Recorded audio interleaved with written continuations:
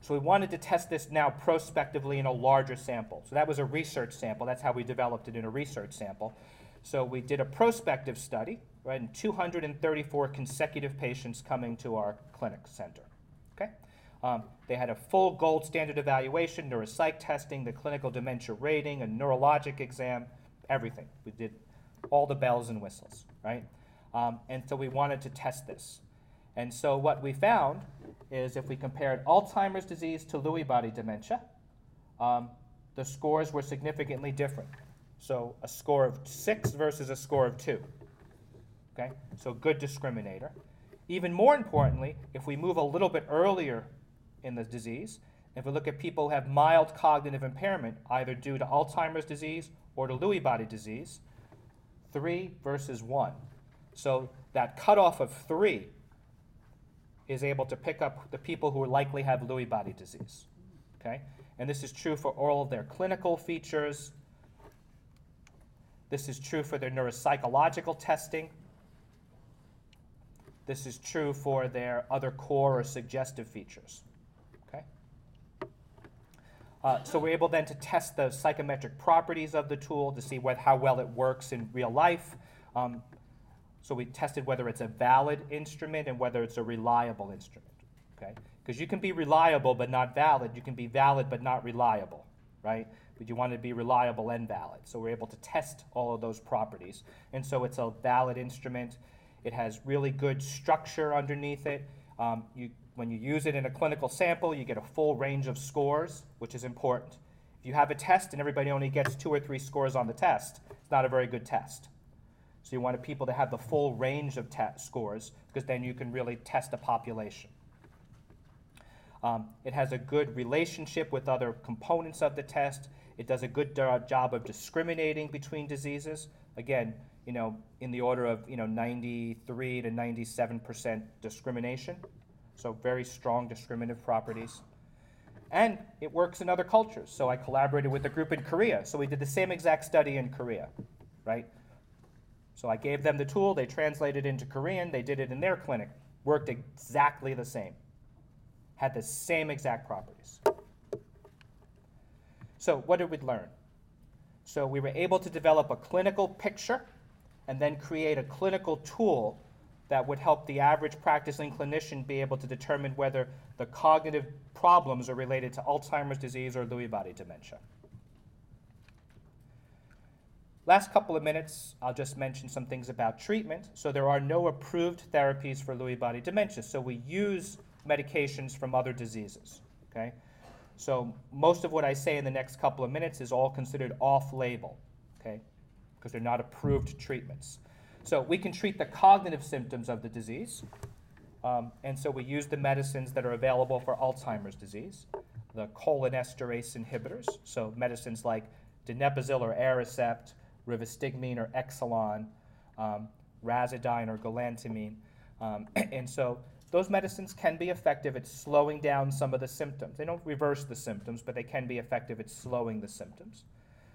The data for memantine or Namenda is kind of equivocal. We use it, but it doesn't have very strong data in Lewy body disease. For the motor symptoms, we've used the medicines of Parkinson's disease, with the caveat that when you use these medicines, you increase the potential to have hallucinations. So it's a little bit of a problem. You have to balance out the motor symptoms versus the hallucinations. Okay. For the fluctuations and attention problems, we use stimulants. So we use the medicines that are used for narcolepsy uh, to treat uh, these symptoms, and they can be quite effective at treating those symptoms. But they tend to increase anxiety.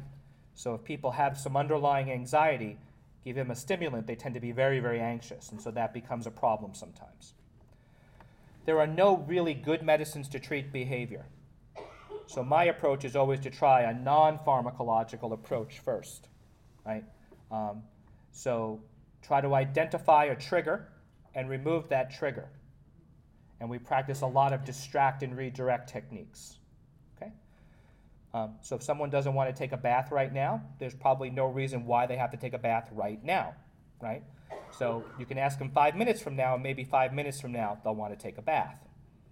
Or you can run the bath water, you know, make it nice and warm and cozy. Say, I just ran you a hot bath. Would you like to take a bath? I mean, so it, it comes down to just sort of, you know, uh, educating the caregiver to try to provide other services, okay?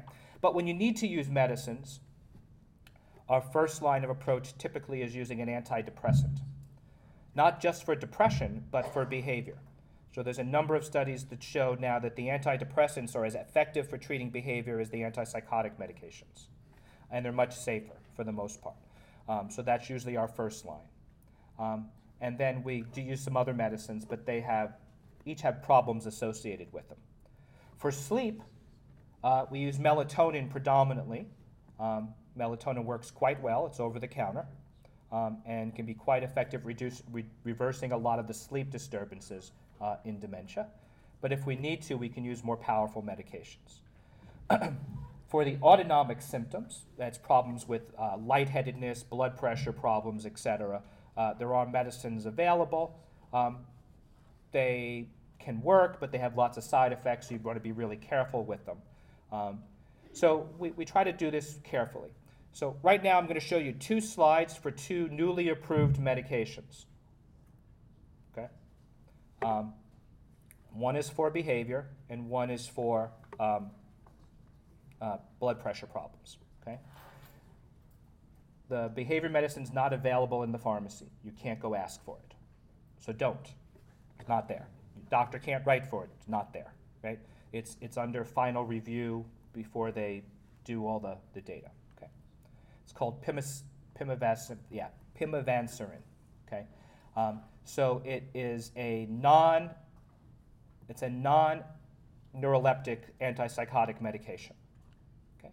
And so it was studied in Parkinson's psychosis, right? So the psychotic features of Parkinson's disease. And what they found was the people who were treated versus the people who were not treated had lower scores on their psychotic scores. It reduced caregiver burden. It reduced the severity of symptoms. It reduced the global rating of symptoms. It improved nighttime sleep and daytime wakefulness. Okay? So very promising. It was only studied in Parkinson's psychosis. So when its final approval will be, that'll be its only thing it's indicated for. Of course, off-label use would vary. Um, but you can't ask for it. Do not go to your family doctor and say, I want my loved one to be on pimavanserin, okay? Because they can't write it. Okay? The other one is approved, it, so it is available. It's very expensive It's very, very expensive. Okay? So it's probably not covered by any insurance plans at the present time. Okay? Um, and it's called uh, Northera. Its, its generic name is Droxidopa. Um, and so this is to try to treat the orthostatic hypotension. Right? So when you stand up, right, gravity would make all of the blood rush to your big toe. So to counteract that, your body uh, constricts your blood vessels so that the blood doesn't leave your brain. Okay? In Lewy body disease, you don't do such a good job of that. And so when they stand up, their blood pressure drops, they feel lightheaded, dizzy, they can pass out. Okay? So there are medicines that are currently available, they have limited utility. So if those medicines fail, there's now this medicine to try to control that. Okay? challenge with this, in its clinical study, it was effective for the first week of treatment and then wasn't so effective after that. Okay? But very effective in that first week. Numerically, they were different. So the, the treated group and the placebo group were different, but statistically, they weren't different. So numerically, and they're different, but statistically, they're not. Okay? So it's an adjunct medicine. It's an expensive adjunctive medicine. But for people who stand up and pass out, it can be a very effective medicine because if you stand up and pass out, you have a great chance of hitting your head or breaking your hip. And those are bad consequences. So, what I tried to tell you over the last uh, hour or so um, was that we were able to use our research data, right?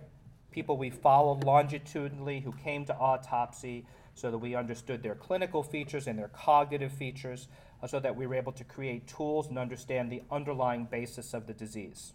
Okay? We developed a tool that would help us, uh, help clinicians make diagnoses more readily.